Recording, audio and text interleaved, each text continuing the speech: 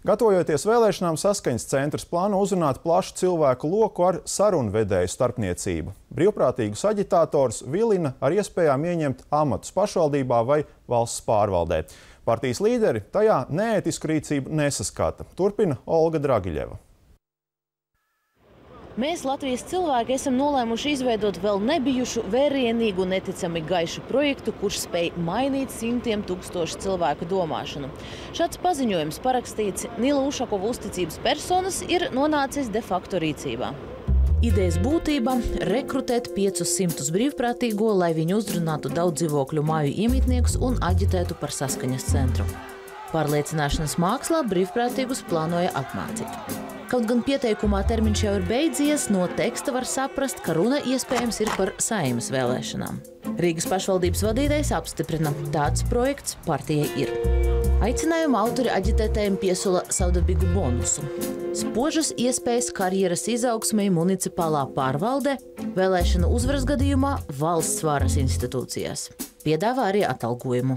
Kādi tieši amati pašvaldībā vai valsts pārvaldē ir piedāvāti vai kāda būtu samaksa par it kā brīvprātīgo darbu, sludinājuma teksts neatklāja. To nesaka arī saskaņas centra vadība. Aicinājuma norādīti ar saskaņas centru saistīts biedrības Latvija mana dzimtene kontakti, bet uz telefonu zvaniem vai e-pastiem neviens neatbild. Ierodoties biedrības juridiskajā adresē, sastopam vienu saskaņas centra biroja darbinieku. Jā. Viena cilvēks. Tur nav, jā? Ja? Bet parasti vispār tā eksistē, ja? Nu, šeit mums, jā. jā. Korupcijas novēršanas un apkarošanas birojas norāda, solījums aktīvākus aģitētājus nodrošināt ar ramatiem ir neētisks un var sabiedrībai dot signālu par to, ka partija ir gatava darboties pretiesiski. Mūsuprāt, ir absolūti nepieļaujams apsolījums, jo valsts amatpersonas pildot amatu pienākumus nevar realizēt amatpilnvaras jautājumos, kas skar viņu personisko ieinteresētību. Tas ir, piemēram, uh, iecelt amatā vai piedāvāt darbu savas partijas uh, atbalstītājiem vai amatpersonām, kā pateicība par to, ka viņas ir nodrošinājušas uh, partijas priekšvēlēšanas aģitācijas kampaņu. Saskaņas centra vadība parmetumiem nepiekrīt un uzstāja, kā politiskajam spēkam ir tiesības apbalvot aktīvākus līdzgaitniekus.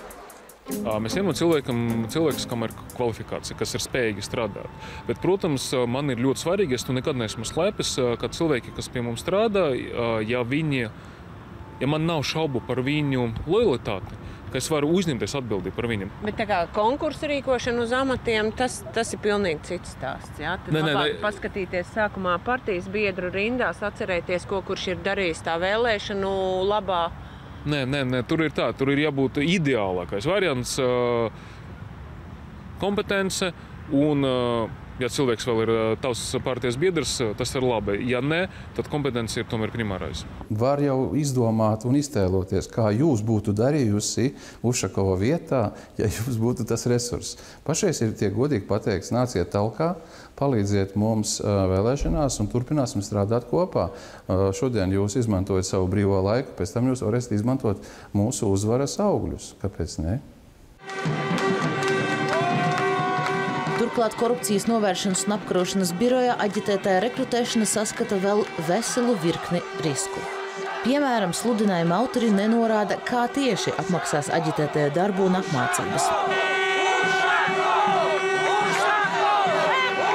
Šeit ir aicinājums arī piesaistīt kā palīdzības sniedzējus dažādas biznesa struktūras, kā arī municipālos uzņēmumus, kas arī faktiski ir uzskatāms par aicinājumu uz pretiesisku rīcību, jo priekšvēlēšana aģitācijas laikā nedrīkst izmantot valsts un pašvaldību institūciju, tā skaitā valsts un pašvaldību kapitāla sabiedrību līdzekļus priekšvēlēšana aģitācijas nodrošināšanai. Neskatoties uz to, ka politiķi atklāti runā par brīvprātīgu aicināšanu, process ir gana slepens. Cilvēka vārdu, kas atbildēja par šo rekrutēšanas projektu, izdodas uzzināt tikai no neoficiālajiem avotiem.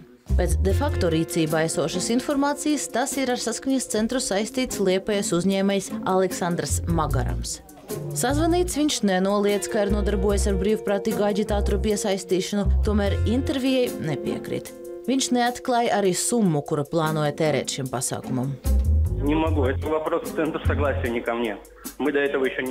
Tas ir jautājums saskaņas centram, nevis man. Mēs līdz tam vēl neesam nonākuši. Tomēr politiskā spēka vadība klusē gan par finansēšanas avotiem un apmēru, gan par aicinājumu iesaistīt pašvaldības struktūras aģitātoru meklēšanā. Magarams skaidro, ka vairāku iemeslu dēļ projekts vēl nav uzsākts. Tostarp arī tāpēc, ka nav izdevies savākt nepieciešamo cilvēku skaitu. Darba piedāvāšana valsts pārvalde aģitatoriem un dāsnie Rīgas satiksmes līguma ar politiķiem parāda, ka galvaspilsētā pie varas esošie pašvaldību uzskata par savu kabatu, no kuras var pasmelties tie, kam partijas biedra karte.